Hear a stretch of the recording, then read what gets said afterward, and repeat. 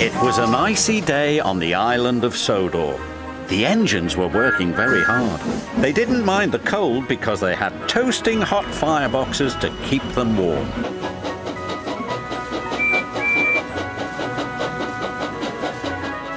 That evening, the Fat Controller came to the shed. There's a big freeze coming tonight, he said. James and Percy are to deliver extra coal to the stations.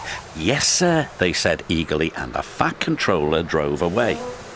You'd better hurry, teased Thomas, or Scary Jack Frost might get you. Who's Jack Frost? Percy whistled nervously. Don't be silly, sniffed James. Jack Frost is not scary. Yes, he is, teased Thomas. He's all white with a big spiky face. Rubbish, said James. James knew Jack Frost wasn't scary, but poor Percy wasn't so sure.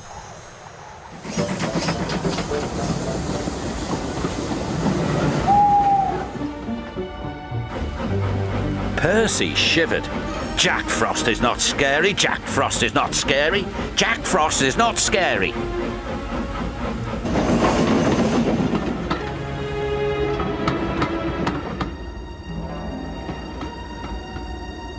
Meanwhile, James puffed along his route. Silly Percy, he thought. All steamed up over Jack Frost. Percy made his last delivery. The station master was very pleased to see him. Oh, Percy, he cried, we need twice as much coal to last through this freeze.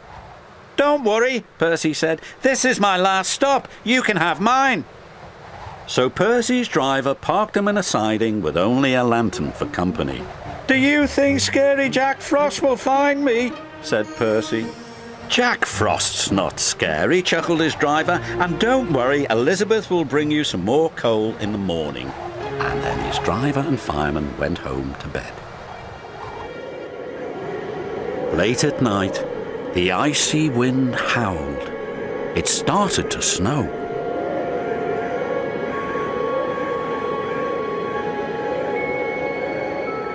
Soon, Percy's face was so cold an icicle hung from his nose. Oh, b- b- bother! Percy stuttered, but it didn't sound like Percy. It was so cold he could hardly make a sound. At last, James was on his way back to the sheds. In the fog, he saw shadows and strange and scary shapes. Scary Jack Frost, he whispered nervously. Pah!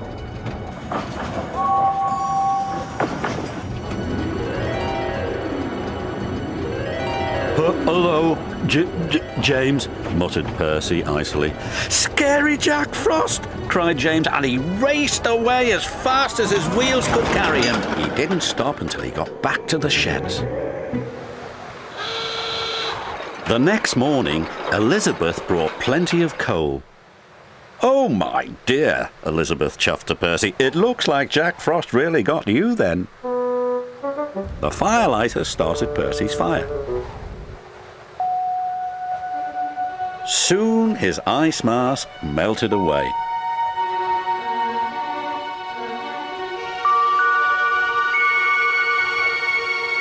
So Scary Jack Frost is only frost, tooted Percy happily. And soon he was as warm as toast. When Percy arrived at the sheds, James was bragging to the other engines. I saw Scary Jack Frost last night, James huffed. He even knows my name. He also knows that you ran away, teased Percy. And all the engines whistled, including James. But Percy's was the loudest whistle of all.